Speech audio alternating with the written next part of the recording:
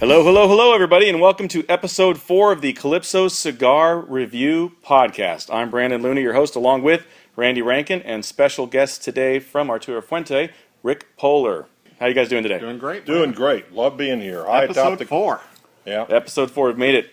Our five listeners have made it to so that we're going to do a fourth episode. It's not that bad. Deep into the Calypso Lounge on the top floor of the Calypso building. That's Excellent. right. We are on the top floor. We are. And the bottom floor. It is not a lie. Go figure that. Today we're going to be reviewing the uh, El Baton cigar, and this is a Fuente Newman cigar, correct? It's actually a Newman cigar. A Newman cigar. Okay, so it's a Newman, Yeah. just straight up Newman. It's most people don't realize there's a separation in there, but there is a separation in there. okay. Okay. We can we can explain all as we go if you want to. Sure thing. So first off, looking at the cigar, we got the uh, which size do we have here? This is This the is the uh, Double Toro, double Toro. It's a big boy, six x 60 Mm-hmm. Nice and shiny wrapper in it, oily. very beautiful wrapper. These things yeah. just fascinate me though, how they keep all the oil in the wrappers. Minimal veins. It's looking um, mighty tasty. Nice sheen in the light. Smells great. Great cigar. Had a nice cold draw. Yeah. Let me do the cold Very, draw. very open. Oh, you guys talking about cigar? I thought you were talking about me. Oh. Just Well, you are a little oily and a little, little oily. minimal veins. Okay, that's true. At least none at the surface. So that's Yeah. We should mention we are at the Calypso Cigar Shop and Lounge Yeah. in Richardson, Texas. As always. Thank you to uh, Mr. Poehler for the cigars. Yes. Thank you. Matt My didn't pleasure. provide the cigars this time. Uh, Mr. Poehler. My pleasure. Always, Provided. always enjoy sitting down and having a good cigar with friends. For Absolutely. sure. For all of you that aren't familiar with Calypso Cigar Store, it's at the corner of Arapaho and Plano Parkway, or Plano Road rather. Beautiful selection of cigars, only topped by the confidence and, and knowledge of the employees here. Well, thank you. You know, the lounge, you know, there was a, on YouTube, there was a commercial that we shot four or five years ago. And it's fun to look at. I was looking at it the other day, and wow, the store has changed so much. I mean, Oh. they showed our pipe selection, and four years ago, and there was like 20 pipes. And you know, now we have dozens and dozens of pipes. And, uh, but one thing that doesn't change is the lounge. The lounge is still one of the best lounges around. Yep. Wide open, warm, many TVs, Comfortable. very comfortable. Nobody's going to hassle you. Absolutely. Now, this store's changed so much from, from when Matt took it over. Oh, absolutely. Originally, it's day and night. Did you ever come when it was the original? Oh, yeah, I was here before it was Yeah. the original. All right. Yeah. The other Sure gentleman was. owned it. Yeah, Yeah, I, the I other- used to shop here. Other gentlemen rolled cigars here. Yeah, Never was able to do business with him, though. that was probably a good thing. Well, it was a legal thing. That's what I'm thinking. We had That's tobacco, what I'm tobacco, thinking. and nothing, nothing against him, but there was, there's a lot of people don't realize tobacco is regulated highly by the states. And in order for us to do business with, with, with tobacco stores, they have to have a tobacco distributor permit to bring tobacco into the state. right. And that gentleman was operating in such a way that he did not need to have one for his main business, so he never bothered to get one, so mm, we didn't do business with him. Wow. Interesting. First, uh, first draw on this thing. It's got a lot of leather to it. I'm getting. Or do you? I'm getting Good, A lot of leather. good. It's very tasty. A little spice in the background there. I was down in Nicaragua in January, and I wanted to know where they keep the dirt and the leather and the grass and that sort of thing for the flavors, but they said that's a secret. Oh, you Excellent. Don't, you, yeah. I have. I, I think there's we- some in there. I'm Do looking. you? I envy your palate on that. I like a cigar. I don't like a cigar. Right. Yeah. Right. And I, and you prefer a milder cigar. Generally, yes. I found as I'm getting older. Mm-hmm. I talked like a about that. mild to medium cigar. Uh, Diamond I, I Crown? can certainly, certainly Diamond Crown, the Diamond Crown Julius Caesar, the Diamond Crown Maximus. Mm-hmm. Uh, very much. The, so many of the manufacturers have confused full flavored with strong, Absolutely. and they just blend, uh, just as a contest, see who who can take whose head off. It seems like. Yep. A good cigar to me is something you want to sit down and smoke and enjoy, and like to have another afterward. Absolutely. Not feel like I don't want to look another cigar for a while, at all. Yeah, you want to be satisfied when you're completed. Exactly, exactly. And I'm blessed in the in the business I'm in. I'm able to smoke cigars all day long. That's awesome. So I like to, you know, It I like to smoke. That is a very good perk. I like to smoke more than one. Yeah. Absolutely. So I want to enjoy them through the day, not Yeah. feel like I have to scrape my tongue at the end of the day to be able to eat dinner or anything. And do you find that you, you kind of depends on your mood as far as if you want a little bit stronger or a different kind of flavor or, or you just sure, you have your Sure. I, fa- I found out years ago I was doing an event down in Houston we had a uh, Connecticut wrapper cigar we were passing out at a golf course. And we were all having a hard time keeping the darn thing lit. Mm-hmm. And it just wasn't getting the flavor that I was used to getting out of the cigar. And like most of us, I was blaming the cigar. And it dawned on me, we're outdoors, we've got a wind going and everything. I went back to the car and got several boxes of the same cigar with a Maduro wrapper on it, heavier wrapper. Stayed lit beautifully. You got good flavor out of it, so it makes a big difference where you are smoking and enjoying your cigar. A nice lounge like this, you can smoke anything you want to and enjoy it in here. But if you're outdoors, sometimes you want a little bit heavier wrapper, a little Yeah. bit darker wrapper sometimes to stay lit and give you that flavor. I have noticed that uh, Connecticut really it'll fall apart in the wind. I mean, it'll it'll tear on Connecticut you. is a very delicate wrapper. Yeah, Very delicate. And yeah, so I don't smoke them outside anymore. Yeah, yeah. That's why you. That's why you generally don't see box press or or wrappers on, on a Connecticut at all. This manufacturer that makes the El Baton for us is coming out now. We're just starting to introduce a new line called Perla del Mar, and it has a Connecticut seed grown in Ecuador, Connecticut wrapper, and that is box pressed. And the ones I've smoked to that are holding up well. I was scared to death, like you were saying. What's this wrapper going to do? Right. But it's holding up very well. It's got some real good properties to it. Very flavorful. In fact, in Cigar Insider, it just had a uh, 90 rating.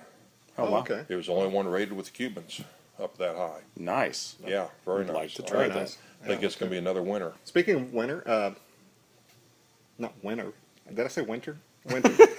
Speaking of winter and, and what's coming up, uh, are you looking forward to IPCPR? Oh, always. The IPCPR is a great time. You get to see everybody's product laid out. You get to see folks that from around the country that you made friends with over the years that you won't see them except that one time a year. Right. You get to, and I'm kind of isolated to a certain degree, even from the distributor back in Tampa. They're great people. We talk all the time, but you don't have face to face that often, and you get that face to face and kind of rebond. You get to try a new product that's there. Uh, you get to see customers that come in and can see everything you have laid out. As we go around and call on customers, we can take in a few boxes of cigars maybe, but they can't see the whole line laid out.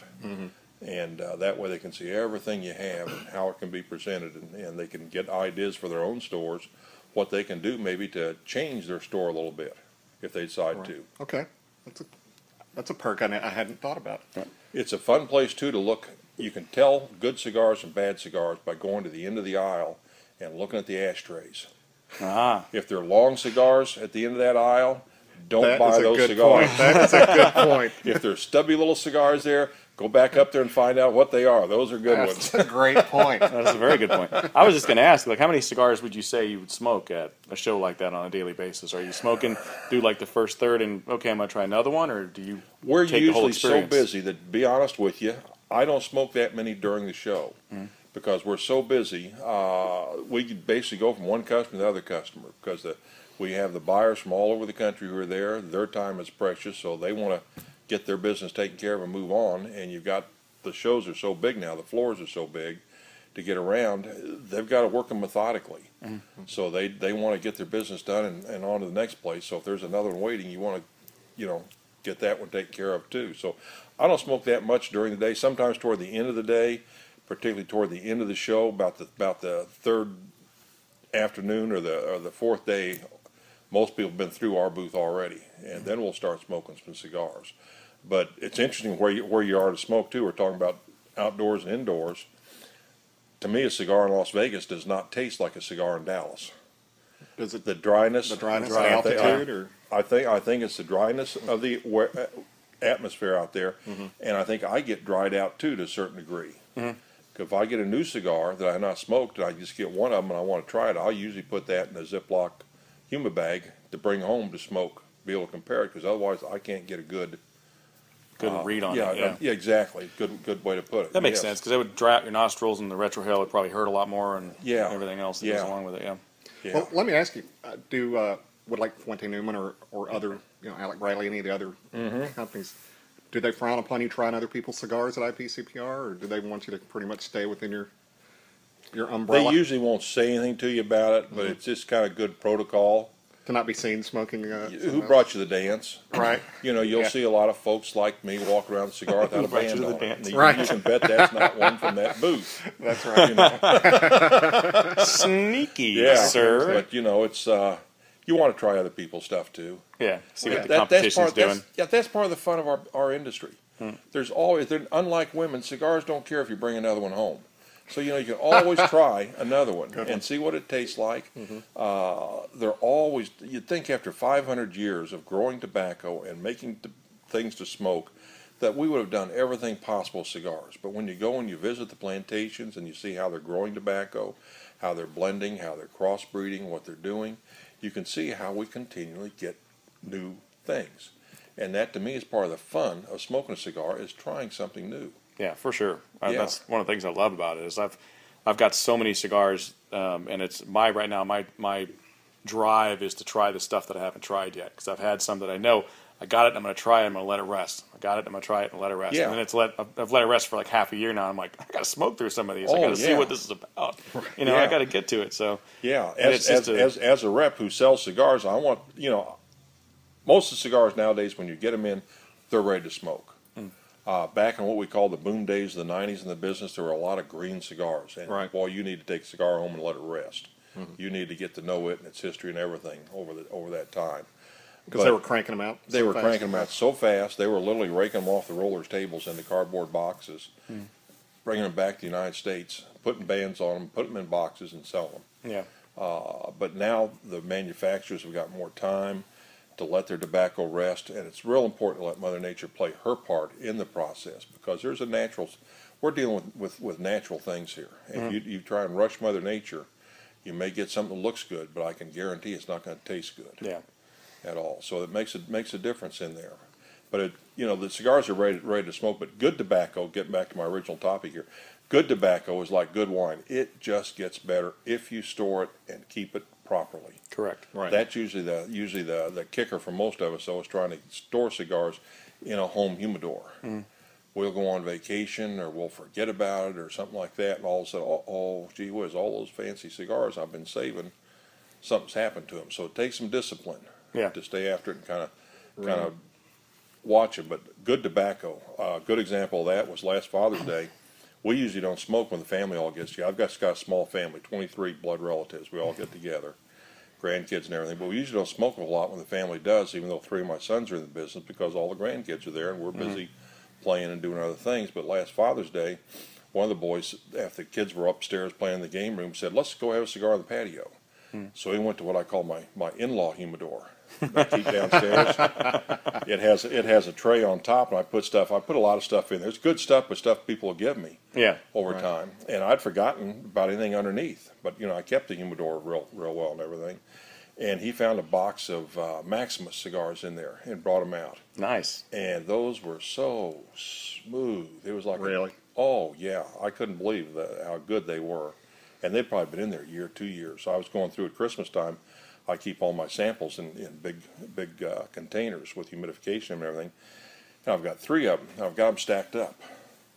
And I've got my Newman stuff in one. I've got my Fuente stuff in one. I've got kind of rare stuff in the other. And I got going through that rare one. I have some cigars in there from back in the 90s. Wow, really? I've Really? got one in the early 90s. nice. That is Yeah, nice. yeah. It's uh, you know they think, well, should I smoke this or should I?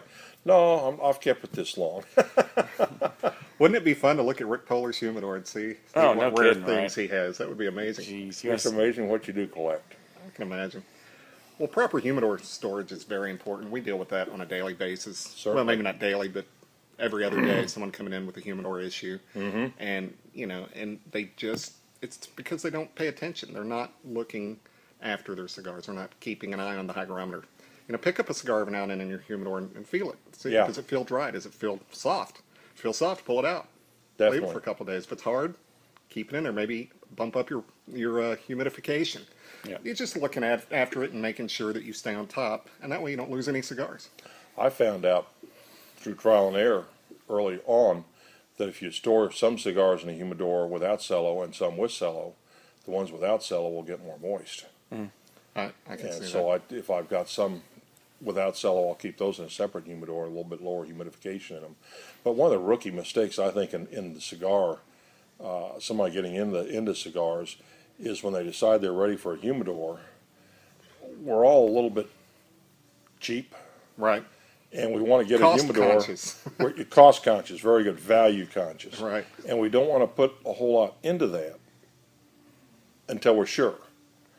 Right. But the biggest mistake is we get a humidor that doesn't isn't built right to keep the cigars, and all Mm-hmm. of a sudden you're putting fifty dollars, hundred dollars, two hundred dollars, you know, whatever in that, and it's not keeping your cigars the way you thought it was going to keep it. exactly. I try and encourage people to get the best and biggest humidor they can Exactly. because it's a piece of furniture that you're going to have all your life. Yeah. Absolutely. You know, and look at it as an investment of, of maintaining what you want to enjoy and play with. I agree. I was told that coming into it pretty quickly that you know if you're going to buy a humidor, go bigger than you think you need Definitely. because you're going to fill it up once you start really enjoying it. It's just it's just like a retail store. I, I go into so many stores that are just getting open. They built this beautiful humidor and everything. I said, well, you, when are you going to enlarge it?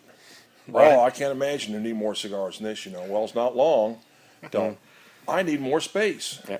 Well, you've seen our humidor. Yeah, Matt's well, at the through that. beginning. At the beginning, you know. uh, I didn't want to point any fingers. No, at the beginning, uh, Matt told me the story that he walked in one day after he he landed a couple of big accounts, and he just stood in there. He was so proud of his humidor, and he took pictures of it. And he showed me the pictures. He had maybe thirty facings, and he was Yeah. so proud.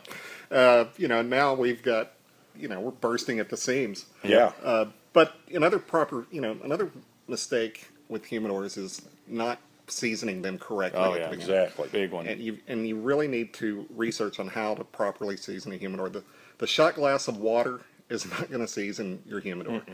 Uh, so you know, talk to your tobacconist. Give us a call. You know, we'll we'll help you out. We'll, Yes. You know, uh, And a lot of these guys, you guys like sell them seasoned too. You guys yeah, do we if you buy a humidor here, we'll season it for you for free. That's good service. You know, Yeah, it's great service. and we you know it's a minimal charge if you didn't buy it here and you want to sell. We've salvaged many humidors that that people were getting ready to throw away because they thought they were too far gone, but and we've been able to salvage them. So just uh, Well, you talk about humidors and salvaging them. We, re- we have J.C. Newman also has a beautiful line of humidors called Diamond Crown humidors to accompany the Diamond Crown cigars. Very high end, lifetime warranty on those, and they mean lifetime warranty. They don't ask any questions. Really? If you've got a problem with it, you get a new humidor, you get a new humidifier, you get a new humidification system, whatever it takes to fix that. Wow, that's awesome. And- and- short of losing it or it being stolen, right? well, yeah, exactly. I, I the the first the first one I had I actually replaced was in a local store here. The consumer took it home. At that time, we had instructions in there about moisten a paper towel, you know, and wring it out, and mm-hmm. gently wipe it down inside. Well, we're Americans. If a mm-hmm. little bit of water works, you know, a lot of water's going to make it better. yeah. He dunked it in his bathtub, Oh no. I've heard of people and as doing soon, as soon as he Oh, did my it, he knew he made a God. mistake. Oh no! You know, it's one of those things like, what have I done? No. and he took it back to the shop. And he, he didn't want. He knew it was his mistake. He did not want it replaced. He said, you know, he didn't expect that, but he said, "How can I salvage this thing?" Well, if they got done laughing about, it, they called me, and after I got done laughing about, it, I called the office, and after they got done laughing about, it, they said, "You know, we'll send him a new one," and they That's replaced great. it. That's awesome. That's Recent- awesome customer recently, service. Yeah, recently I replaced a humidor. The consumer must have had it in uh, storage or something, or not had any moisture in for a long time, and then rehumidified the thing and got it too much and cracked the lid on the thing. Mm. And it was so old that I've been doing this 30 years. Right. I didn't remember the model, wow. Oh, but I wow. knew I knew it was Diamond Crown because we burn we brand into the lid Right. Diamond Crown logo in there, so we knew it was Diamond Crown, but. They didn't ask a question about it. They said, it, you know, said, we don't have that style anymore, that model, we have that capacity, so they sent him a beautiful new, what was about three hundred and fifty dollar humidor That's awesome. for him, yeah. That is great customer service. Yeah. That's awesome customer Nu- service. yeah. Newman is deep in customer service. They're a family that's been in business as a family in the cigar business over 120 years, and they're one of the biggest behind the scenes people in the industry. A lot of people never heard of them. They don't have a line of cigars, say J.C. Newman. They don't have their picture out on things or do a lot of that sort of thing. But they're very strong in the business and everything from lobbying Washington on on the legislation that's going on, that sort of thing, to organizing the manufacturers and distributors in Florida and having all the uh, not all, but a, a large portion of the uh, Florida leg, uh, legislative people and, and United States people down there for a day in their factory, and through all the manufacturers, always gave them a very nice check, Wow. also to keep their attention. That's great. attention. That's Yeah. right. Way good. But they're very busy on things. In fact, Stanford Newman was the man when Cuba closed down that brought Cameroon wrapper to the United States to start using his wrapper on Really? cigars. Little known fact there. A there. lot of different things they've done that nobody, they just do it, and keep going. They Yeah. plan. They're very modest people, very conservative people. Eric Newman, I believe, still referees high school football. That's awesome. That's yeah, great. Yeah. That is So great. we're coming up on the uh, end of the first third here. At least I am. I'm yeah, I'm about a little third of the way through. So we're going to take a little break, and then we'll come back and get into the second third. And um, you're going to stick around with us. Sure, you betcha. Excellent, sir. Okay, we'll be right back, guys.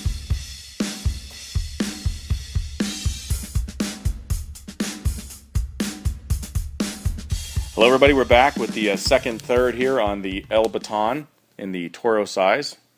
Double Toro. Double Toro. Oh, pardon me. Double Toro. Six that's by my 60. 60. That's a big ring gauge there. This is a big boy. Very popular nowadays. We're, in fact, we're coming with a another line with a seven by seventy-two. Oh, God. Really? That's Really? a jawbreaker right there. That's an exhaust pipe. Bobby Newman's wife is named Meredith, and best name we've come up with it so far is Meredith Stream. I'm not going to touch that with a 10 foot pole. Oh man, well, I was just saying during the break that for the big ring gauge, I was really expecting just this overwhelming No, uh, smoke that was going to, you know, choke me out because Yes. I'm not a big ring gauge guy. But no, it's very smooth, It very is. tasty. It does have a lot of smoke, yep, but not an overwhelmingly amount for a 60 ring gauge. no, It's, um, it's a little stronger, which is odd because I think the Bellicoso is a little milder. Do you? uh, to me. Yeah. But I mean, I've had probably four or five of those, Right. and this is the first time having this size, and it's definitely got a little more spice to it. Mm-hmm. Which usually the higher ring gauge you go, the milder it is, which is odd to me. But that's just my palate, so I don't know. Depends on how they blend stuff, really. It's, Yeah. ama- it's amazing Blend. to watch them blend and how they put leaves of tobacco together and come up with a blend and then keep it consistent, consistent, consistent, consistent. Box after box, cigar after cigar. It's just amazing. Uh, you've, you've got to have a lot of tobacco, a lot of tobacco to be able to do that. That's what that hurt, what's hurt hurts a lot of smaller manufacturers. They get a, if they get a, a line of cigars that's, that really catches on, they don't have enough tobacco to keep up with the, with the demand, and that makes it real difficult because it's hard when you roll a cigar to go back out then and try and buy in the open market tobacco to make the same blend Yeah, true. with it. So you've got to have a lot of tobacco when you start out, so that you can keep it up and keep going with it. And of course, the blends will change a little bit year by year too, according to the crops. It's just like any other Exactly. agricultural crop. Is it hot that year? Is it dry that year? Is there more rain that year? Or is it you know whatever it might be? Definitely a lot of factors. Yeah. It is. It is. As you said, it's it's all organic. It's all Mm-hmm. all natural. Yeah. Is that uh, does that speak to the rarity of the Opus X as far as the lack, Definitely. you know, the not lack of tobacco, but the minimal amount of tobacco you have to make that. That cigar? and the high standards they put they've, they've placed on themselves to make that cigar. The Opus X actually came out of of uh, Carlito was giving a tour to some people from I believe Germany, somewhere in Europe anyway, and they made a comment to him that he was an assembler. He was taking tobacco, blending together and coming out with magnificent cigars, but he wasn't growing anything or you know that sort of thing. And he decided he wanted to grow tobacco. And at that time, no one had grown wrapper successfully in the Dominican Republic. It just was not something that had been done. Huh. And the Oliva family, who they're very close with and still close with today, uh, not the Oliva cigar line, but the Oliva family grows tobacco all over the world, worked with them. And this small farm they started out with, I believe it was 52 acres. It's up now, last time I heard anything, it was close to 400 acres wow. and they got the most magnificent tobacco out of it. Just unbelievable tobacco uh, for for wrappers. But they, even today, they say they they use less than ten percent of the wrapper that they grow on that for Opus X. They're that particular Really? Okay. about what Wow. they do and, and what the wrapper looks like and that sort of thing. They're actually not making. I don't think they're making any more. If they're making more, very little more than they did when they introduced it back in 1995. Uh, that's why it's so rare. That's why uh, you know the vast majority of shops don't have. There's just not the product there, and they won't lower their standards on it. They look at it as the flagship not only of, of their company, but also to show that Dominican can grow wrapper. Right. The Dominican Republic kind of a flagship for them also. That makes Yeah. sense. So we were talking at the break about this versus the um, Brick House. You said the Brick Yes. House is a, another Newman product. Another Newman product. Newman partnered with a family in in uh, Nicaragua, close to the Honduras border, that grow tobacco, buy tobacco. They have their own own plant up there where they work tobacco, uh, do their own blending and everything, packaging, shipping, everything. They're they're just completing now a box factory that we've had. To, we've been held up sometimes our shipments for El Baton and Brick House by not getting boxes out of Hon- the factory in Honduras because it's Nicaragua and Honduras. Sometimes the border closes down, mm-hmm. and everything will stop It just shuts up it- on yeah. the Pan American Highway. There's and there's not a back road to take. No. You go on the Pan American Highway, you don't go down there at all. But they're up, they're up right in the heart of, of what was Sandinista country. We were up there in January, and a lot of red and black flags in the cemetery, a lot of red mm. and black buildings. In fact, when they took us from the factory up to the, some of the fields, remote fields, we had a military escort to go up there. And It's kind I of never, scary. That's kind of scary. well, yeah. it, yeah, but they said they did it more to make us feel comfortable. Okay. Because they're the employer, they're the employer in the area. Right. And no problems at all. I never, I felt very safe. Every place I went in Nicaragua, we walked all over Esteli, went in and out of drinking places, getting soda pops, I would love to go. but had a, had a good time. Esteli is the heart of tobacco in Nicaragua now. That's that's what we hear. There are a number of recognizable factories mm-hmm. down there, big factories. Mm-hmm. I think Drew Estate's the biggest one down there. Mm-hmm. Uh, down, they said there are 44 different people making cigars in Esteli now. Some of them are just little little room operations, but they're making a lot of cigars down there. A lot of tobacco is grown down there. A lot of tobacco is imported down there. Mm-hmm. Everything they're doing a wonderful job down there. But Newman started. It was their first venture outside of Fuente for long fill hand rolled cigars mm-hmm. and they wanted to have a Nicaraguan line of cigars. So they got together with Fidel, the man and his sons who had the factory down there, and they made the brick. They made the El Baton first, and it was just kind of a let's get our foot in the water, let's see how how it is. And almost immediately they got a 91 rating in Cigar hmm. Aficionado. wow. Not bad. So it, not bad at all. So it wasn't a, it wasn't a let's kind of roll this out quietly and just you know let it grow naturally and see what happens. It was all of a sudden an explosion wow. Instant success. instant success. And then they came on about six months, nine months later, with the Brick House cigar made by the same mm-hmm. people. And uh, it's a little, it's it's what we call a complex, more of a complex blend. It will start off mild, build to a medium, and give you pretty full by the time you finish that cigar off. You smoke it all the way up toward the mm-hmm. band Agreed. where the El Baton is more the same strength from beginning to end. You get a mm. nice smooth start and finish all the way through with this with the cigar Yeah. on it, and that's again personal taste we were talking about during the break. Well, what you like. If you like full body, you like mild, you like medium. If you like that complex complexity of changing, or if you like the consistent from front to back. Yeah. I like the change. I, I like the complex uh, Yes. cigar, but it's not necessary. If you're smoking a cigar such as this that does have a lot of flavor, Yes. then it doesn't really need to change. It, it, the, the flavor sustains itself. So I agree. You know, I tend to I tend to gravitate towards complexity when I have time to really sit down and enjoy the cigar. Mm-hmm. Uh, Okay. If I'm if I'm looking for something that's going to be the same from start to finish, that's kind of those are my go tos. I'm going to be out doing something. I'm not real worried about.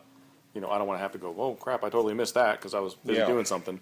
You know, then I'll grab. driving in your car. Yeah, exactly. Oh, wait, driving it in the car. changed, and I didn't notice. Exactly. Yeah. So Yeah. you know that I, I smoked both the El Baton and the Brick House, and I came back to the El Baton. Mm-hmm. Personal preference type thing. I liked it a little bit better than the Brick House, and I have a couple Brick Houses. I think I got a fiver here way back or Yeah. something. Right. And um, I'm gonna age them and see how they turn Mm-hmm. out. Uh, but they turned me on to the El Baton when they first got them in. Yeah, I think you asked Yeah. me at the time which one Yeah. should I get, and I said get the El Baton. Mm-hmm. No, no offense to the Brick House, I've only had one or two, and to be honest, it, it was while I was working, so I really didn't pay attention to If it. you had a and I better rep, apologize. it brought you more in. For That's you smoke. true. That's true. It's always the reps. You need to fault. talk to somebody about that. Yeah.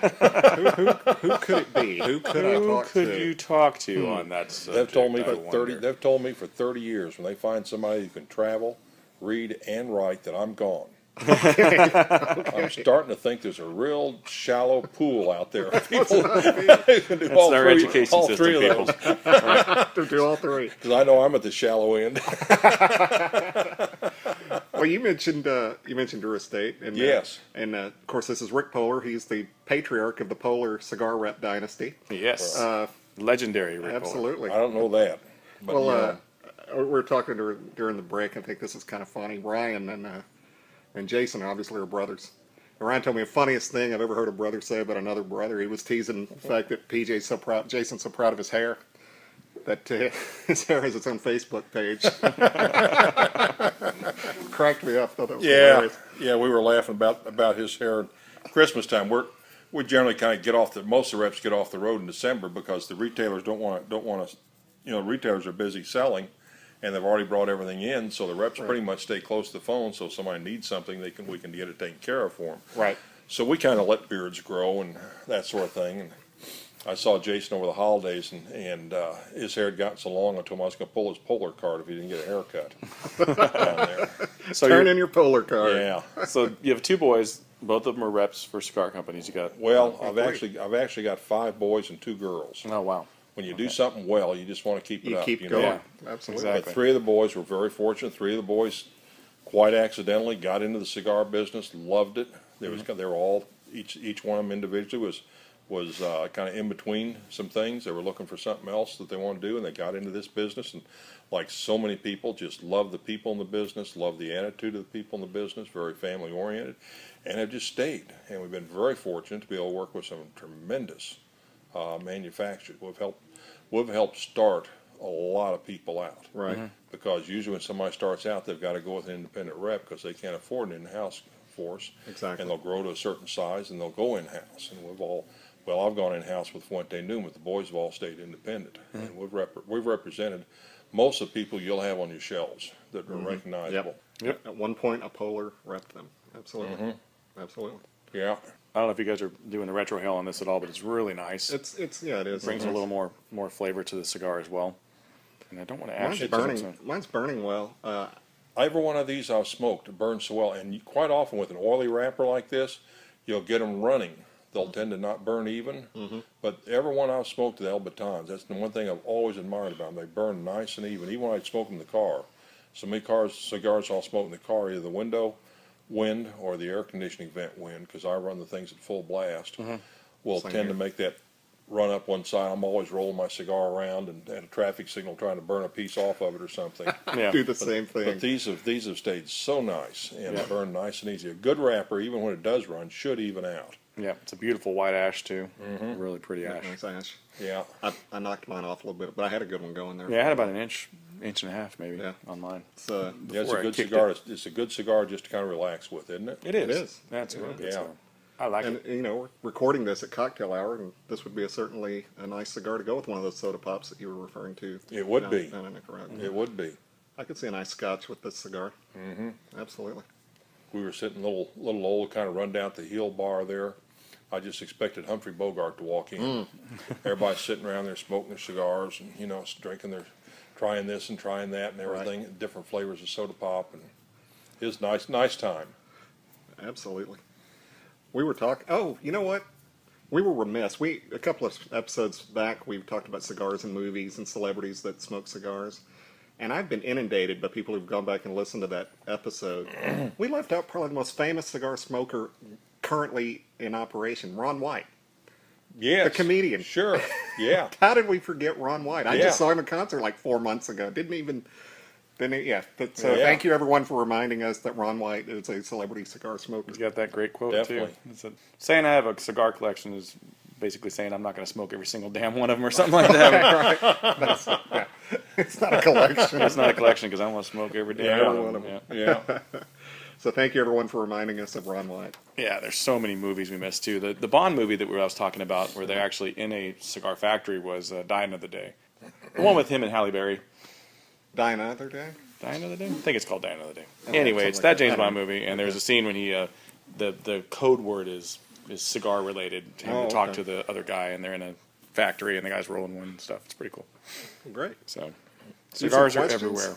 I do. Um, I posted up on a couple of forums that I'm on that I was going to be talking to um, Rick today, and I wanted to see if they had any questions about Fuente for the rep, and they came up with some stuff. A big one, um, well, of course, is you know what new releases are going to be expected this year at the uh, at the show. Um, I don't know if you can really reveal anything on that, but Yes, I can. I'm glad to, glad about it because well, Fuente celebrated their 100th anniversary in the United States last year. They had a lot of plans uh, to do. Unfortunately, a hurricane struck and lightning burned two of their huge warehouses down to the ground. One of those warehouses had a lot of their real old, rare tobacco in it. Ah. So they didn't do last year. What they're doing is they're celebrating the first year of their second century this year. Okay. They're going to have a line that's supposed to be out for the show called uh, Casa Cuba. That will be a be a, a regular cigar out there on a regular basis. Uh, I've smoked it. I've smoked to several of them. It, the ones I've smoked, coat my mouth like I remember old cigars or Cuban cigars doing. Okay. All right. You know, the whole mouth. You could just it was it was in Absolutely. there. I liked it real well, real well. Uh, it- the cigars have actually been ready for a couple of years, and they were ready to to uh, start boxing them and decide they didn't like the bands. And anybody hmm. that deals with, with Fuente and Carlito knows he's a perfectionist. Yeah. So they're redoing the bands. In fact, he was over in Holland just recently, so he could actually see them when they when they came out. Because the colors they would do, he'd pick a color, and when the color would actually come out on it, just like you paint your wall, sometimes it doesn't look like the color you bought, mm-hmm. you know, or the color you thought you got. So he was over there making certain of that. But that's supposed to be coming out. He's going to have a line which will probably be in the Opus X category uh, called Angel Share. Okay. It's always been a saying in their family that uh, the smoke that goes up to heaven is the angels' share of the cigar Oh, for their grandfather and that sort of thing. And uh, I was told when Carlito was watching those those uh, two big barns burn, he said the angels are getting their share today. Uh, Wow. that. So it's going to be called Angel Share. What they told us about it, it's going to be wrapper from the Fuente Fuente Opus X uh, plantation down there, Chateau de la Fuente, but it'll be a little bit lower priming. The leaves for the Opus X come off the top, hot top part. This can be more down toward the middle. So I'm real anxious to see those that'll be Yeah, interesting. that'd be interesting. and we'll we'll hopefully see some some uh, other releases of uh, short run things.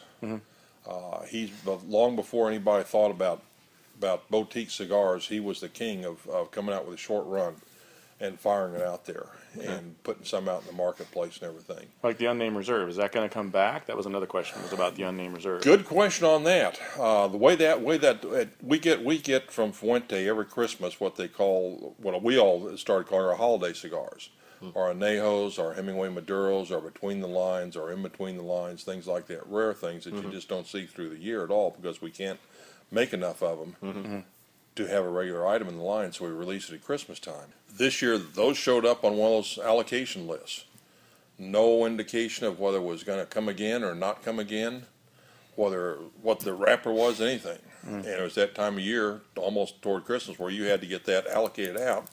And we got very few boxes of them. I didn't even see any, to tell you the truth. Yeah. Because the uh-huh. time I got back out in the stores, they were all gone. But Wow. people who smoked them said they were great. I found out since then it is a Rosado wrapper. And when I asked Carlito in January, uh, we, we were down in, in uh, Tampa with him, asked him if this is going to be a regular thing. He kind of looks off and takes a puff in his cigar and he says, maybe. Oh, So you just don't know. You Yeah. know? Never know. Could be. you, know, you just don't know. Yeah, this is very popular. Yeah, yeah. that's great. I have a question real quickly. Sure. Because I know we're about to come up on break. A customer asked me to ask you this, and I thought it was a great question. Is there any way to just, because a lot of your bands look very similar on Oh. Fuente, is there any way to tell the difference between the bands? Very confusing. I've got that question too. Very confusing. The ones that have a little bit of green on them, I call the regular everyday line. Okay. That's all Cameroon. Okay. But then you get into the Hemingways. They've got a little bit different band on them. Right. Uh, I believe there's some black on there, Mm-hmm. not there? I think so. Yeah, that's also a Cameroon, but you've got a different tobacco in it. Okay. The Hemingway is just such a fabulous cigar. It is. And you get the Don Carlos. That's also a Cameroon wrapper, but a different band on that also. Okay. And then you get into the ribbons on the feet. Okay. You know, some of our, our uh, Rosados have got a red ribbon. Some have a black ribbon. The green ones are The green ones are Chateaus. Chateaus, okay. Yeah, that has a Connecticut wrapper on Okay. that. So really, they're very similar, just subtle differences. and Yeah, that's how I actually found a, a pretty Yeah. decent answer on that as well online. It basically said, um, let's see, green, red and green bands are used for the main line, uh, like the Cuban Coronas, 858, uh, Florafina, etc. And just correct me if I'm wrong. Red and black band is used for more upmarket cigars like the Don Carlos and the Hemingway, while the rare Anejo series bands are white. in background. Okay. Yeah, to give to give you some, some background on how we how he picks colors, when he came out with black ribbon on the cigar, I asked him, I said, "Why did you put a black ribbon on a cigar? Black ribbons usually denote death, Right. and we don't want that association." He said, "Rick, it was the only ribbon we had in the factory." and he said, "If we waited to do another color, would have been six more months till we could have released the cigar. By the time they get the ribbons from the United States, get them down here, get them in production, and everything." He said, "We went with the black ribbon. It's all about what you have. It's what Yeah. you have." That works that way sometimes in the industry. Okay, so this is the uh, end of the second third. We're going to take another little break, and we'll come back with some more questions from the uh, listeners.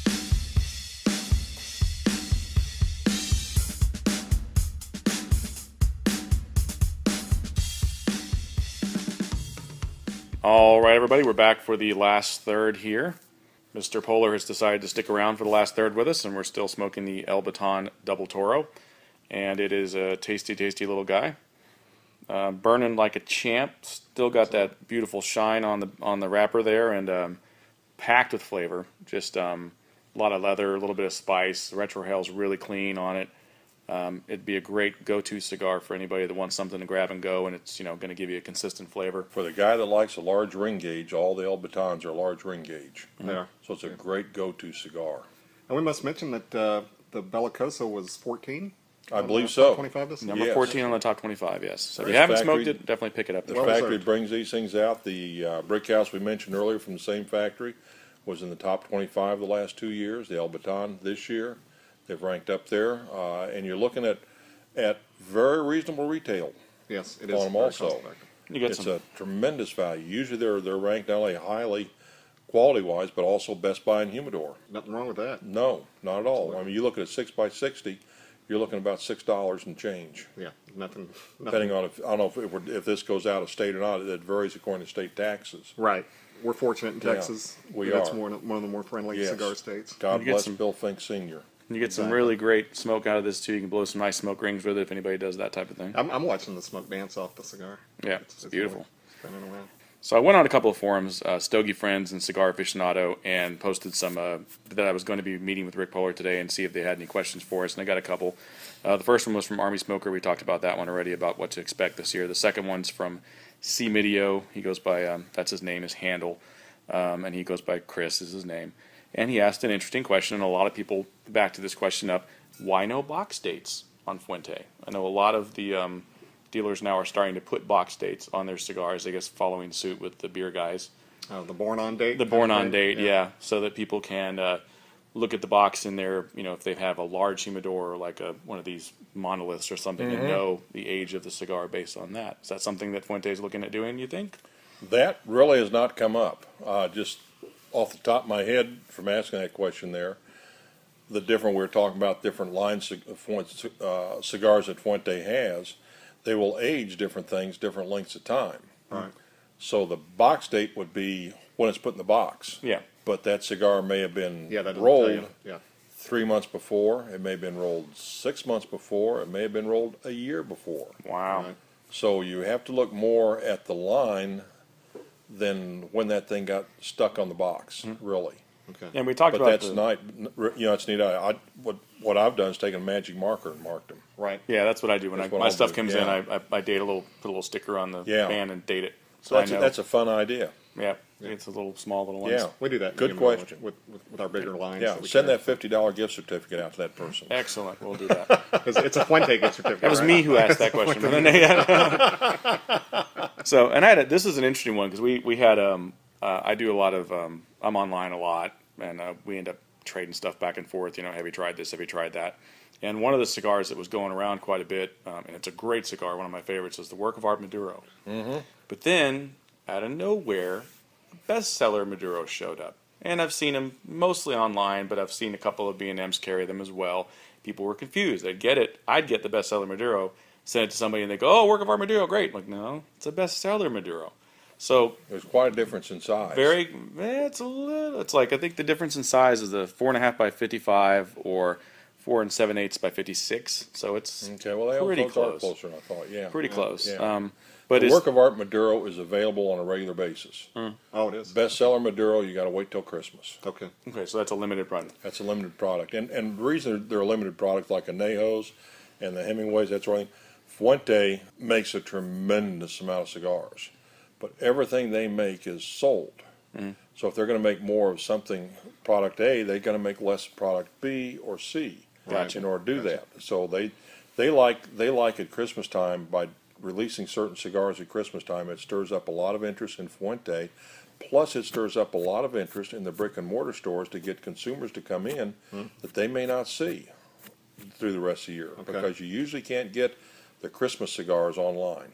Usually, you have to come into a brick and mortar store to get them. So SoCal Matt asks, he's the one that asked about the unnamed reserve previously, but he also mentioned uh, when will more Rosado Hemingways be coming out? I think we talked to that already. Did you say?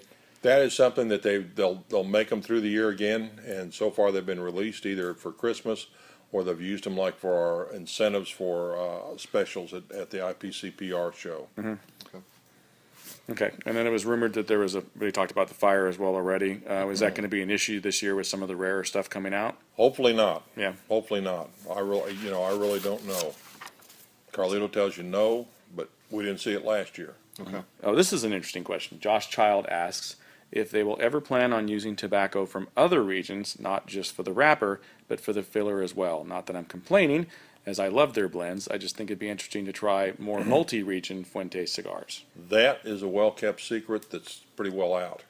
Fuente, you, if you get a Fuente cigar that has six leaves in it, it can come from six different countries. Okay. They were some of the early blenders from around the world. Uh, the whole Dominican was. Uh, it's like asking grandma what her recipe is. She's not going to tell you everything in it. And Fuente historically will tell you the wrapper, it will tell you the binder and the filler are all Dominican. I'm here to tell you they're not. I've been where they store tobacco, and you see tobacco from all over the world. All right. So they're you're enjoying tobacco from around the world now. Okay. Okay. The it's 858 cigar, there. the 858, which is a very unique to our line. Mm-hmm. Nothing else tastes like it.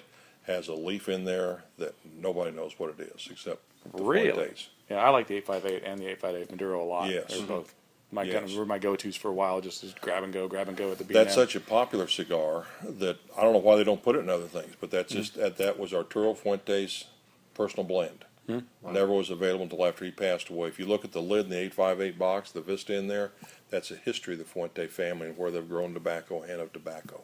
I love that about Fuente, all the romance and stuff that Yeah. comes in the boxes, and, and the Yeah. boxes themselves. Oh, You know. Yeah. They're they're Well, that 858 box was the first wood box. okay. Like Oh, yeah? every- everybody, everybody said, "You're going to go broke. You can't, you can't put cigars in a box like that." And now look at us. You Everybody- know, everything's in a nice yeah, box. absolutely. True enough. Everybody. Johnny Flake is a great guy on Stogie Friends. Um, he asks, when will the 858 and the Cuban Bellicoso be offered with Rosado wrappers again? That might speak to the whole Christmas thing again, or is that a different issue? Possibly, they make the 858 with a Rosado wrapper and with a sun-grown wrapper.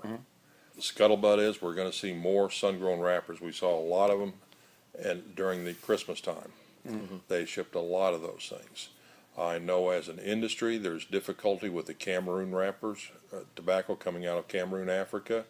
Uh, that would would vary according to the political situation in Cameroon. It's a very poor country, but what I'm being told, and this is all secondhand, uh, what I'm being told is that they don't know if the soil or the climate, something has changed over there, and they're not getting the quality Cameroon wrapper. No one is. So there, people are trying to kind of look and see what they might substitute. If you remember back in the boom, cigar boom in the '90s, everybody got short of Cameroon wrapper. We had a similar situation back there, and and people took whole lines from Cameroon and put other wrappers on it. That's where the, your Havana 2000 came from, your Ecuadorian sun Sungrowns came from, your a lot of different things like that to try and move a little bit away from that. Mm. I think we didn't we get eight five eight Rosado? Didn't we get a box of Probably. that? I think we did. Yeah, probably. Right. I think almost everybody did Okay. because it just kept coming. All right. It just kept coming at Yeah. Christmas time. Yeah, Yeah, I guess they were asking about the Royal Salutes and Rosado wrapper as well. I don't think I've ever had a Royal Salute. I've, I've not had one uh, in Rosado wrapper. That Royal Salute Maduro is one of my favorite cigars. Fuente naturally ferments their Maduro wrappers, which gets all the ammonia and all the acidity out of it. So I'll find Fuente Maduros quite often be milder than a natural wrapper. Right. I agree with that, I yeah. would agree. They are so good, where a lot of manufacturers don't have the wherewithal to take the time to go through that natural process. They'll add chemicals or add heat to it, and they can get a beautiful wrapper, but usually it's bitter as soon as you get the moisture. Is that why those You let- wrappers are darker? Can be, yeah, Yeah. yeah, it can of the be, heat. but they'll usually be bitter, and usually as you smoke them, be stronger. Yeah. I used to sell prior to the cigar boom as many Maduros as I did naturals.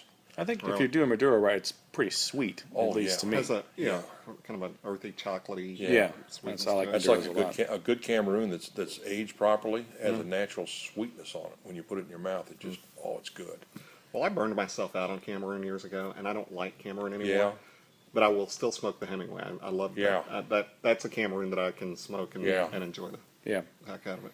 That's so. Yeah, you got to speak to the consistency of all the the Fuente product. I mean, I would you know venture to say that if cigars ever got to the point where they were so popular that people kind of equate them with uh, what they are, like you know, there's. Let me try and explain this in a different way. People think about Coke as a product, but it's also how you say I want a soda. Mm-hmm. Like I want a Coke. What Yeah. kind of Coke do you want, Dr Pepper? Yeah. I want to, I want to, you know, I think that's a Texas thing. yeah, but it's it's all over the We know, place yeah, though. It's yeah, you know, but like same you thing said, with Kleenex, Kleenex. They want a. Kleenex. Yeah. What Yeah. kind of tissue? Band-Aid. Exactly. yeah, Yeah. it's a brand name, but Yeah. But uh, I think you know Fuente would probably be you know I want a Fuente. What kind of Fuente do you want? Eh, you know whatever a different you say a different brand of cigar. I think that's probably one of those brands. Maybe Fuente and Padron are synonymous with. Their line is, is broad enough that most people can find things in the line they like.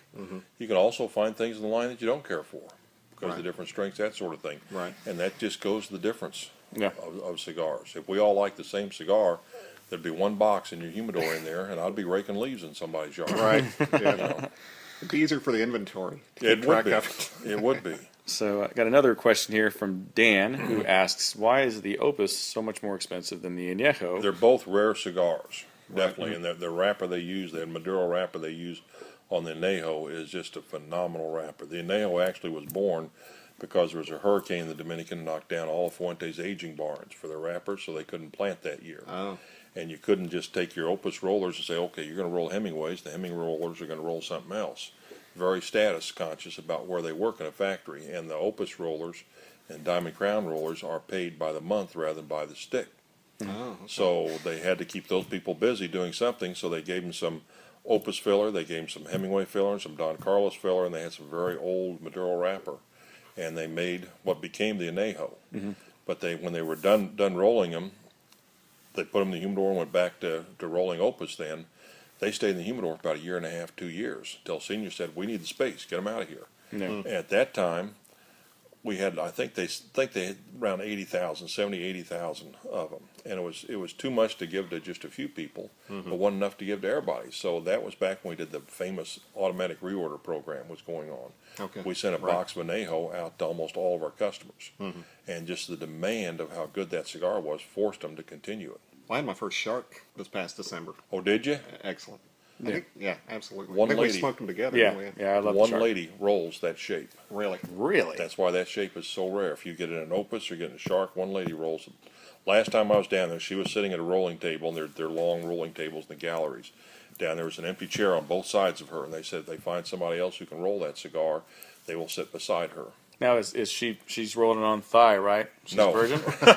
Virgin rolling on Oh, So much romance. I've not found that yet. I've seen them in pictures. yeah. I've not seen that in the cigar place yet. No, I, the Anejo is special to me. It's, it's a great tasting is. cigar, and it is. You know, I kind of like the fact that it's not available all the time because it just makes it that much more special. Mm-hmm. It's so special to me that that's one cigar I buy each year. I buy two boxes each year. Yeah, I'm not at the box place. I'll get there, but I would definitely like to buy a box of those. Yeah, that'd be great. Um, that's yeah.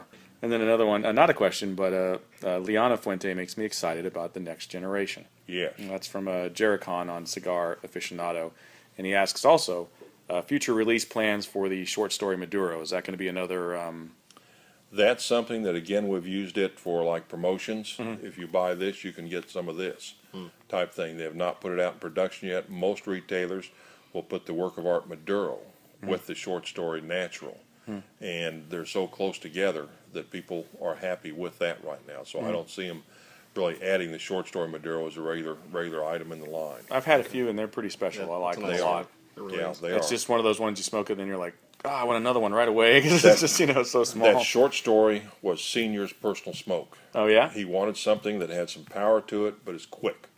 And he carried those things around with him, and he'd pass them out to people as he visited people, that sort of thing. And people smoked them, wanted more and wanted more. And there was one man rolling those personally for him, a real old gentleman, that would work maybe half a day, and he only could make so many cigars a year, so we didn't have them. And when they finally put them in production, they didn't show up on our price sheet. Of course, Fuente only changes their prices about every three, four years. All they do. They weren't on a price sheet. They missed the first price change, so we had them on a price sheet probably six, seven, or we had them. We were selling six, seven years before they ever showed up on a price sheet oh wow, at all. The, the, the official the official answer was to somebody wanted some was, well, they're not in production, but I'll see if I can get you a box. Okay. And sometimes they'd show up, and sometimes you had to wait. Right. make it even more special. Mm-hmm. Um, Phil in Chicago asks um, if Fuente has any plans to expand the Casa Fuente setup like they have in Vegas. Any plans to expand that to other cities? Not to my knowledge. That's actually not owned or operated by Fuente. Caesar's Really? Palace folks went to Fuente family and asked them to put a store in there, a flagship store. Uh, they considered it. realized that they were a manufacturer and not a retailer. So it's actually owned by some brothers called uh, the Fries, who have other stores in Vegas, and Robbie Levin, who is the uh, owner of Ashton Cigars. Fuente's name is on there. Fuente, of course, keeps them supplied. They, I, I understand, they get something in, in royalties uh, for the name, that sort of thing. That all goes to the Cigar Family Charitable Foundation. Oh, okay. The Fuentes do not profit from that at all. The Cigar Charity Foundation is, is something very near and dear to their, their heart and the Newman's heart. They both are partners in that, along with almost all cigar smokers down there. We've educated a, a tremendous amount of children. It's been recognized actually by the United Nations That's for the great. work they've That's done down there. So when you're down in Vegas, go by Casa Fuente and buy some cigars and Definitely. give back. Helping- yeah, Definitely. giving back to And the- every October through December, we have our, our two cigars provided by the Newmans and the Fuentes. Uh, unusual shaped cigars that people can buy, and that proceeds all go to the foundation also. We raise about a, around eight hundred, nine hundred thousand dollars a year for the Oh, great. foundation with that each year. That's awesome. That's very good. Mm-hmm. Cool. That is awesome. So you have a favorite Fuente cigar? A free one. A free one? That, that's mine too. That's, great, yeah. You know, I, get- I get asked that question all the time, and I keep finding new favorites. Mm-hmm. So it, it's kind of like my children. It's hard to say. You know, I love them all. Mm-hmm. It's hard to say, oh, this one's my favorite. Maybe right now, the one I'm smoking or the one I'm with, you know, is my favorite. But yet, by golly, I've got some others I love a whole lot too. Mm-hmm. So to actually say I have a favorite, it's, it's hard to say. The Hemingway is sure hard to beat. It is. The Hemingway and the 858 are just just good. You, you kind of get away from them and you want to try other stuff, but boy, those are good to go back to. yeah, they are delicious. I They are. A lot. Yeah, I can't think of any Fuentes that I haven't liked. that No. I've tried. They're all Right. very consistent, very tasty, and The uh, good Fuentes are, the Fuentes are so good at blending tobacco that they usually they hit home runs. They do. Uh, they hit a lot more home runs than they do bunts, for sure. For sure. Uh, it's just amazing. Their their latest one they came out with, of course, was the Magnum R series, Hmm. and that's done phenomenal. In fact, the Magnum R 44 just was number five this year. We're talking about ratings, number Hmm. five cigar of the year, Wow. and it has not been out very long at all. Yeah, they get a lot of recognition. So we have um, on the last third of the El Baton here, and uh, you're very correct. It is very consistent through and through. But I'd say it hasn't even really. Usually, when you get to the end of a cigar, it gets a little more robust and Mm-hmm. strong. No, this is This the, one's- the same. Very consistent, yeah. Yeah, So it'd be Very a great tasty. go-to, grab and go, s- have fun. You know, maybe even golf course cigar. Yeah, For absolutely. sure. yeah, Absolutely. definitely. I think the band even tastes good when you get down there smoking a real short. I took my band off. I'm not going to get to s- know what it tastes. no, you're you're missing out. We flavored those. Well, Rick, we don't want to take any more of your time, so we do want to thank you for coming out with us today thank and, you, and Rick. hanging out. Well, And, I've uh, certainly enjoyed it. Is the check in the mail? Yes, sir, it will Okay. be. You'll Here, get I- some, I'll give you an El Baton. yeah, you want an El Baton that's been uh, sucked That I on know. previously by Yeah. another. It's my pleasure. I enjoy talking about cigars. Well, we enjoy having you, sir. Absolutely. Thank you for your Thank time. you so much, Rick. So thanks everybody again for listening, and uh, check us out next week. Uh, it's going to be, I think, just me and Randy next week. So we'll be back to. Uh, Actually, no, the Altadis event is next week. oh, that's right. We're right. going to do a live podcast next week. Well, it's- it won't be aired live, but We will might. be- You never know. We'll see. We'll see how it goes. Stranger things have happened. So we've got the Altadis events here at um, the Calypso Cigar Shop and Lounge next week. So if you're in Richardson, Texas, definitely check us out. We're going to be um, displaying line a of whole Altadis, line of uh, Altadis. yeah, fe- featuring the Legacy, the Paradox, and the Vega Fina 2012 edition. as well as some uh, tastings, I believe, as well, right? Absolutely, For some. absolutely. What's it what, what kind of tastings are Uh, going to we're going to have some uh, some Speyside Scotch. Oh, okay. Scotch from the Speyside region. Excellent. So don't forget to uh, subscribe to us on the old uh, iTunes there, and check us out at Podomatic or Spreaker. And we also do have the video on YouTube, which is basically us talking with some uh, hot ladies overlaid and some cigar porn for you there as well. And uh, also, don't forget when you make, leave those comments, um, just mention what you'd like us to review. We've got Absolutely. a ton of great cigars here at the Calypso Cigar uh, Shop and Lounge, and we're definitely going to listen to those recommendations. So again, thanks for listening. See you next week. Good night, Brandon. Good night, Randy.